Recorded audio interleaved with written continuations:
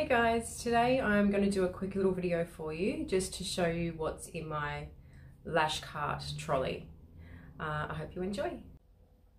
So here is my trolley and as you can see there's nothing fancy or special about it. Um, I love it because it is enclosed and I can keep everything clean and dust free. Um, it's not as stylish as some of the open trolleys, but I do like that this is more sanitary in my opinion. Um, so on the top here, I just have my tissues, a little bin at the back, and my hand sanitizer. And this uh, vinyl on top, um, I put there myself because underneath was um, like a mesh wire top and I wanted something that I could clean quite easily with my um, antibacterial wipes and spray and this is perfect for that. So this is the top drawer. Over on the left I have my disposable ones. Um, I have my lip gloss and my mascara ones here which are bamboo. At the front here I have my primer and my accelerator I have my glue nozzle wipes, my foaming lash shampoo, I have makeup remover here at the back, um, in the middle are all my tapes, at the front here I keep my foam tape and my blue sensitive tape because they're my most used. On the right I have my eye pads, uh, alcohol swabs, some eyelid tape which I tend to use occasionally in place of the medical tape. And at the back here, I have all my removers. So I've got my cream and my gel remover there.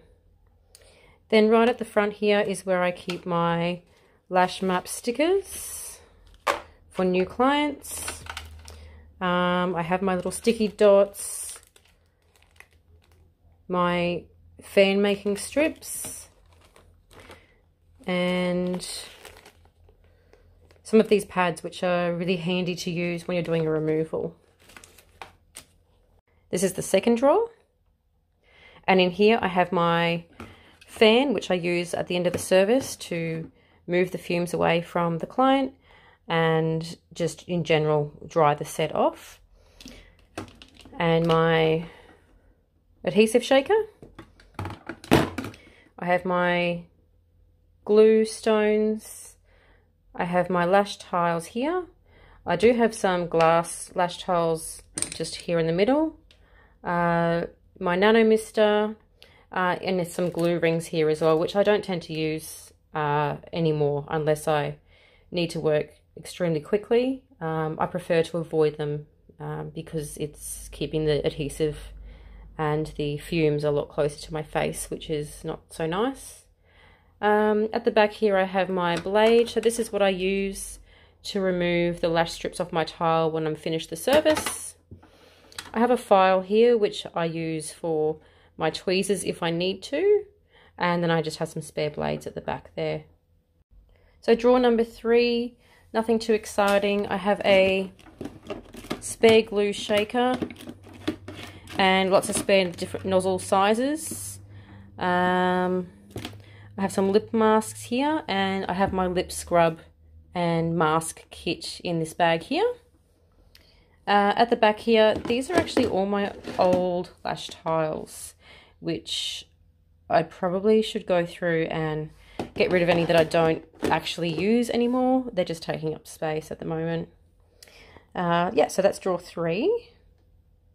And down here is drawer number four. Um, I have my tripod for when I'm filming. I have spare batteries for my adhesive shaker. I have some Panadol for days where I have a headache.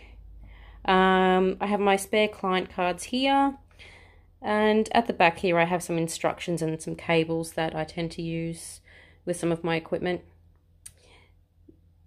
But otherwise that is it. That is my trolley. It's very simple but it works a charm and is super easy to clean. So I can remove everything from it and I can disinfect the the tubs and the um, the entire frame as well. It um, is perfect and has lasted me probably about 10 years now.